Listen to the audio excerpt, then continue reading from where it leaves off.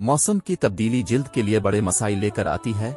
मौसम गर्मा हो या सर्दियों की खुश्क हवाएँ, इंसानी जिल्द को हर तरह से मसाइल का सामना रहता है। मौसम इस जिल्द पर अपना असर पहले दिखाता है, जो पहले से ही किसी न किसी हवाले से मुतासर हो। जो अफराद गजा का भरपूर ख्याल नहीं रखते, उन पर मौसम सरमा अपना ज़्यादा असर दिखाता है, जिससे जल्द फटने और खुश्क होने के साथ ये कैफियत जहनी दबाव का सबब भी बन जाती। खुराक जितनी ज़्यादा अच्छी होगी, जल्द भी इतनी ही चमकदार होगी।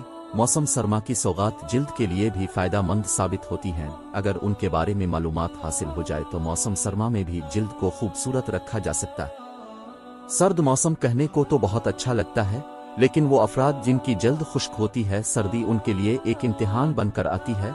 खुश्क मौसम के असरात जल्द पर सबसे पहले मरतब होते हैं। ऐसे में ये जानना भी ज़रूरी होता है कि इस सूरत हाल से कैसे निजात हासिल की जाए। सर्दियों में खुश्क जिल्द की वजूहत हाथों, पैरों, चेहरे या जिस्म पर किसी गैर मियारी और सस्ती करीम का इस्तेमाल। चाय, काफ़ी या अल्कोहल का ज़रूरत से ज़्यादा इस्तेमाल।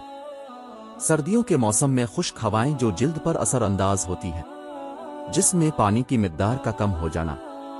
सर्द मौसम में कमरों की मसनी गर्मी और बहुत ज़्यादा हीटर के आगे बैठना।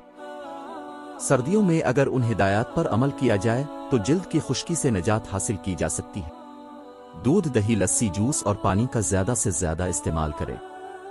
रसदार फल और सब्ज़ियाँ अपनी गजा में ज़रूर शामिल रखें ताकि जल्द सेहतमंद रहे। मौसम सरमा में होंठों के फट जाने की सूरत में दिन भर में ज़्यादा से ज़्यादा पानी पिए।